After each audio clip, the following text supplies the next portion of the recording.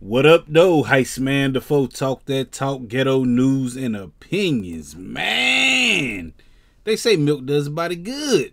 Everybody like milk, man. You know, help you get your strong bones and all your essential vitamins and all this stuff. You'd be like Hulk Hogan, but that ain't the case for this Alaska school. Um, I think it was an elementary school. I think it's a school program. I think it was summer camp or something.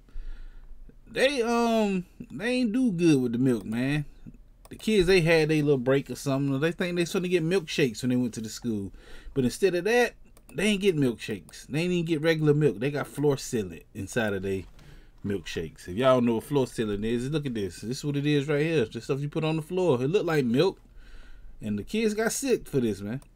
I don't understand how did they um get the milk and all that stuff mixed up because they these ain't even on the same shelves, man. Like milk inside the refrigerator and all that stuff on another shelf. So, yo, y'all gotta be careful, man. Like, it's white, yes, it's white, but milk, like they, I thought it was being a container. They said they're making milkshakes. Like, did y'all go? I don't understand this. How do y'all do that, man? How do y'all put floor sealant inside of this um kid's milkshake? Like, I know that floor sealant heavier, you know, than milk. It, it pours different. When you pour it out, it look different. Like I don't know what the world y'all was doing, man, but y'all made a big mistake, man. A couple kids got I ain't gonna say they got they got sick. That's what they did. They got a little sick. Everybody doing good right now though, but yo, you gotta be careful, man. Especially y'all be careful y'all send y'all kids to school at or summer camp. Mm, mm, mm.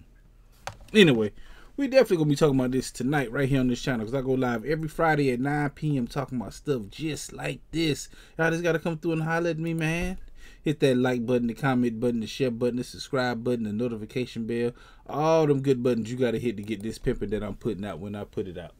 And like I said, I go live every Friday at 9 p.m. Come through, join the conversation, and holla at your boy, the Folk. Talk that talk, ghetto news and opinions. Peace.